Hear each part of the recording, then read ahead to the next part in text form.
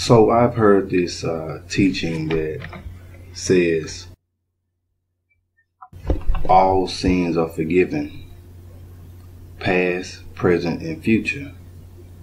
Because they say, or the preacher says that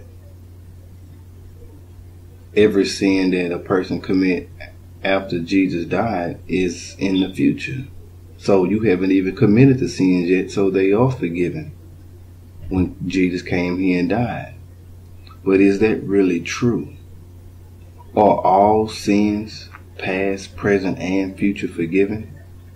What about the sins I haven't committed yet? The preachers say they are forgiven. But let's go into the scriptures and let's see what does the scriptures say about sins being forgiven. Now, I want to start this teaching off in the book of Romans chapter 2 and I want to start at verse 14 because I want to show how all were under the law. Then I want to get into how the scriptures teaches how we are not under the law and what makes us sinners. So let's start off Romans chapter 2, starting at verse 14. It says this For when the Gentiles which have not the law do by nature the things contained in the law, these having not the law are a law unto themselves which show the work of the law written in their hearts, their conscience also bearing witness in their thoughts, the mean while accusing or excusing um, one another. So the scriptures talk about how the Gentiles did not have the law. And we know that the Jews were given the law, and God gave the Jews the Ten Commandments that would show the Jews what they should not do or what God commands was for them not to do. And so the Gentiles wasn't given that law. But he says, the scripture says that when they do by nature the things contained in the law, these have not the law or a law to themselves because the law was written in their hearts. And so their conscience also bear them witness. So, um, so now that would show that though the Gentiles were not given the law, the Gentiles were under the law because it was in their hearts and their conscience bear witness to that. And so now I want to go over to Galatians chapter 3 real quick. Galatians chapter 3, I want to start at verse 19. The scripture says this Wherefore then serveth the law? So now, why did the law come? what is the purpose of the law? He says, Wherefore then serveth the law? It was added because of transgressions. See, that's what we're talking about sin, transgressions against the law. So, the scripture says it was added because of transgressions till the seed should come.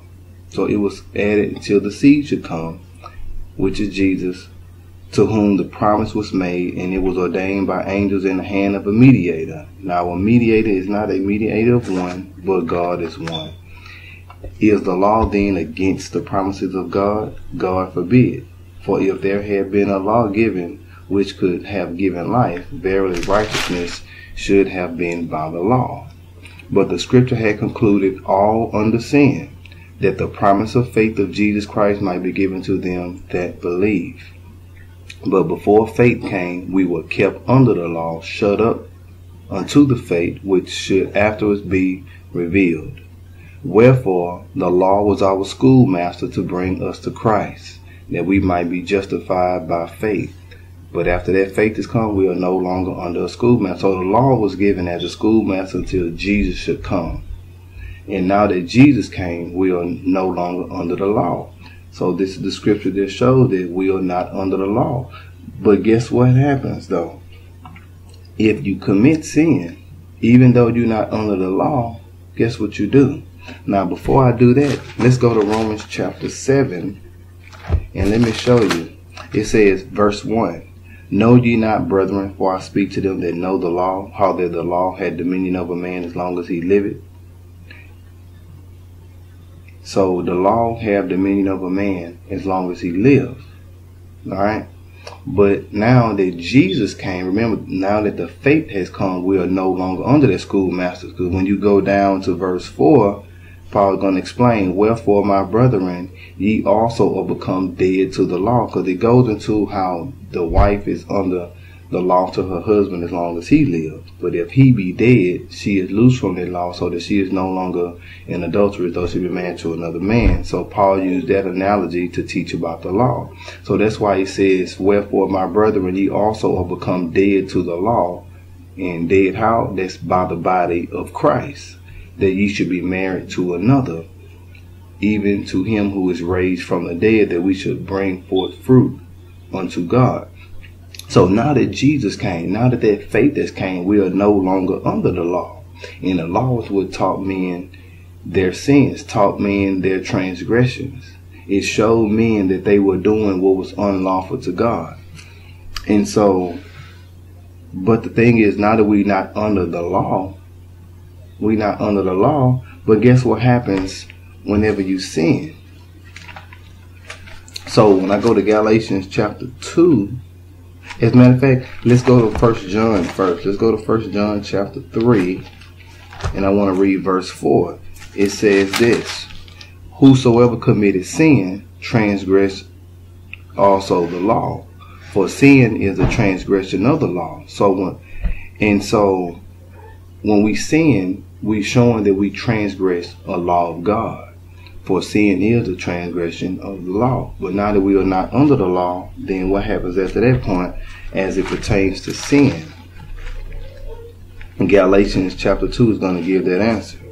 Galatians chapter 2, I want to read verse 18, and the scripture says this. It says, verse starting verse 17, But if while we seek to be justified by Christ, we ourselves also are found sinners, is therefore Christ the minister of sin? God forbid. For if I build again the things which I destroyed, I make myself a transgressor. So if you build again those things that you destroyed, now that Christ come, you make yourself a transgressor. It says, For for I through the law am dead to the law, that I might live unto God. I am crucified with Christ, nevertheless I live, yet not I, but Christ liveth in me. In the life which I now live in the flesh, I live by the faith of the Son of God. So now that Christ comes, you're not under the law. But if you sin, you make yourself a transgressor of the law. And, and now what sins are forgiven, this answer is going to be proven right here in the book of Romans chapter 3. And then I'm going to end this video. Romans chapter 3, verse 25 says this. Well, I'm going to start at verse 23. It says, For all have seen and come short of the glory of God.